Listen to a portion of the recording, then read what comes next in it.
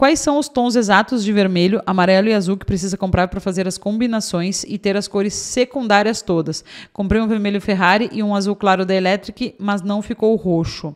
Tá? Aí, gente, não é questão de qual vermelho também ou qual azul. É, é uma questão de proporção.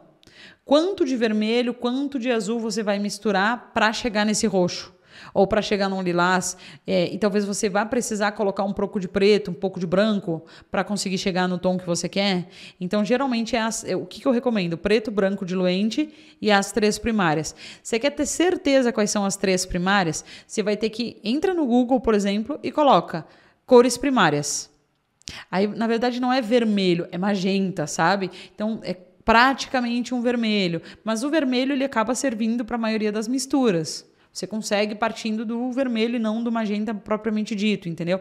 Mas se você quiser saber as três cores perfeitamente, depende da marca que você vai comprar.